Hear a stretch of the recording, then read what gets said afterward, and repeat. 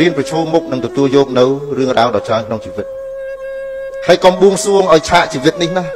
វាស្រួលវាងាយហើយនឹងមានមនុស្សគ្រប់គ្នាមកសង្គ្រោះក្មួយគ្រប់ពេលដែលក្មួយជួបវិបត្តិអត់ទេអត់ទេក្មួយអត់ទេអត់ទេហើយត្រូវចងចាំថា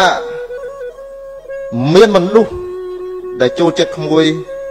ស្ងាត់ស្ងាត់ហើយនឹងមានមនុស្ស ដែលស្អប់ក្មួយស្ងាត់ស្ងាត់ដែរក្នុងនោះអ្នកដែលស្អប់ក្មួយក៏មានសមាជិកនៃគ្រួសាររបស់ក្មួយដែរដែលមិនចូលចិត្តក្មួយហើយនឹងស្រឡាញ់ក្មួយរឿងនេះជារឿងជីវិតពិតប្រាកដពិតប្រាកដមនុស្សលោកគឺអញ្ចឹងបើមិនអញ្ចឹងមិនមនុស្សលោកទេ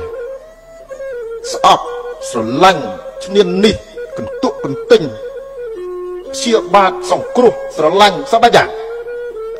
ហើយក្មួយកំបួងសួងថាខ្ញុំបួងសួងយ៉ាងម៉េចឲ្យឆាកជីវិតរបស់ខ្ញុំកុំជួបរឿងអីទាំងអស់អត់បានទេមានតែមួយ គឺព្យាយាមរស់ហើយប្រឈមមុខទៅក្នុងជីវិត